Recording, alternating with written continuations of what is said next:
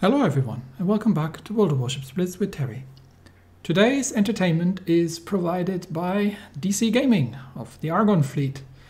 And DC Gaming is in the Kiev, the Tier 9 Soviet destroyer. Now if you know anything about Soviet destroyers, you know that um, they have very good guns, they're very quick, but the torpedoes usually are more like really short range and um, you don't usually get, you don't always get the, the, the chance to use them all that much.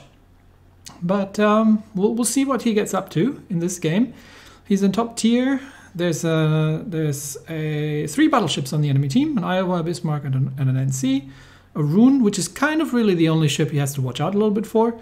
And a Fletcher, Kagero, and the Z. So let's start this. And let's see what DC Gaming makes of this. They're playing on Aurora. And he spawns in pretty much the middle.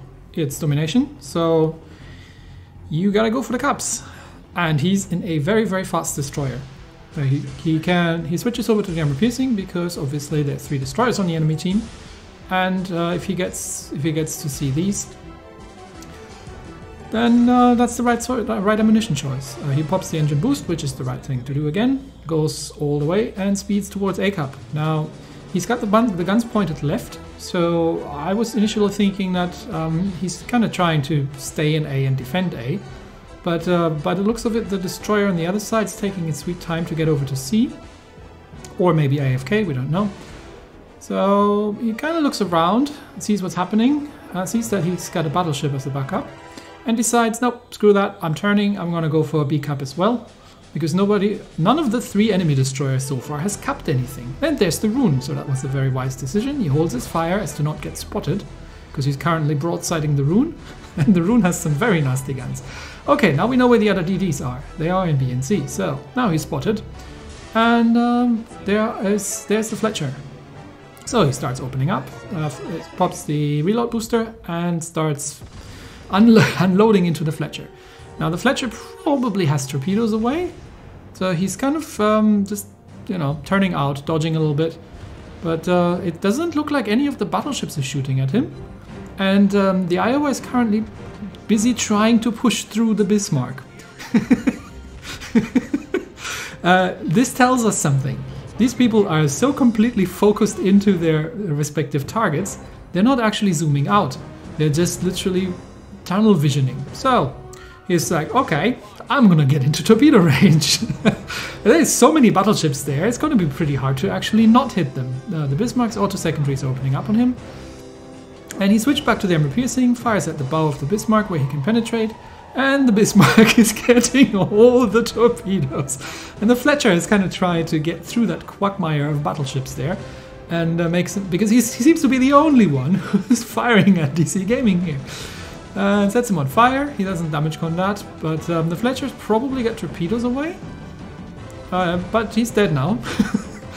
and uh, okay, what does it look like? They're 100 points behind. They've lost the battleship. They're not holding any caps uh, at the mo any cap at the moment, and everybody there is concentrating on A.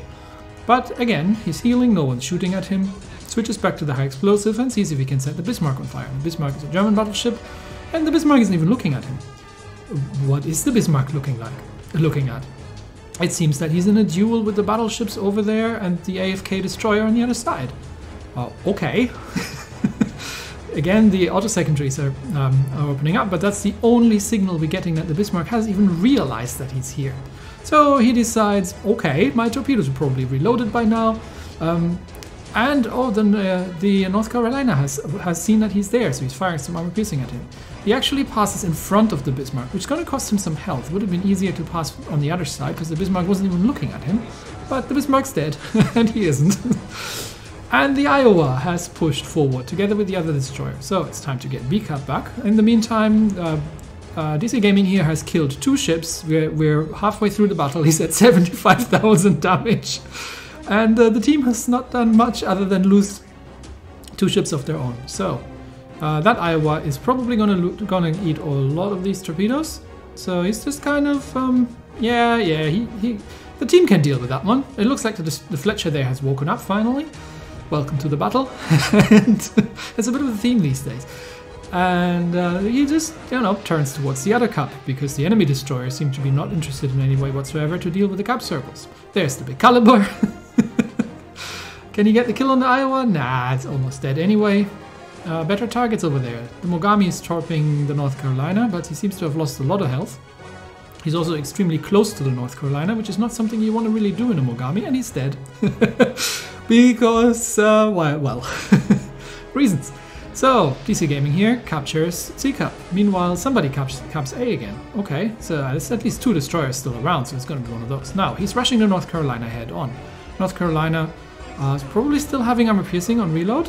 That's the secondaries firing at him. He's in torpedo range, but he doesn't turn yet because he would give broadside to the North Carolina, and you don't want to do that. It just sets him on fire. North Carolina starts turning because he thought that he dropped torpedoes. So he's concentrating on turning, and mm, well, nice, well done. This is how you this is how you um, you deceive an enemy ship. Because what he wants to do really, I mean, he has to watch out a little bit with the secondaries of that North Carolina. But what he wants to do really is get on the other side of that ship, because then the gun turrets are all pointing in the wrong direction. And even if he had the high explosive loaded, he can't go and shoot him in the face. So um, the North Carolina turns, but uh, he's this close at this point that he switches back to the armor piercing and uh, at this at this rate, he, he can just drop the torpedoes into him. Now he hasn't damage controlled the fire because, well, the North Carolina might have set him on fire again multiple times with the secondaries. That has, that has cost him quite a bit of health though. And uh, they're still behind on points, despite all his efforts. and they've lost another ship. Uh, but uh, the the Lenin has taken out the Roon that sunk him in, in return, so it's down to and the Fletcher has killed something as well. Okay, now it's down to just one destro uh, one destroyer. So um, big big effort, big hero effort here. Switches back to the armor piercing has, has the armor piercing loaded because well, there's just one destroyer to shoot at. Uh, big effort here for for DC Gaming to actually keep the caps under control. Otherwise, they would have lost this on points, and that destroyer would have just had to run away. But now we know where he is. He's over an A cup and um, DC Gaming still has enough health and is a very, in a very fast ship. So this should be a walk in the park now. Now he's spotted because obviously that's uh, okay. That's a Kagero, so he's extremely um, he's extremely uh, sneaky. Now DC Gaming here does something that uh, he's trying to torp the cargo, Kagero while not while not actually reversing. And then he realizes that he's running straight into the Kagero's torpedo. So he eats two of those, survives by a miracle on 300 health, but now the Kagero just has to fire his guns once and he's dead and he's dodged all his torpedoes. He could have literally just stayed a little bit away or, or put them in reverse a couple of seconds earlier because Kagero wasn't shooting at him. Well, he's now. but the Kagero kills him, but it's okay. It's all good because that Fletcher there is still coming in and Fletcher can kill the Kagero. And even if he doesn't, they're still ahead on points. 128,000 points of damage. And if he hadn't potatoed that Kagero at the end, he could have just gunned him down easily and gotten himself another kill. Holy hell in a handbasket. this, my friends, is why, even if it's a Soviet destroyer, you don't just ignore it.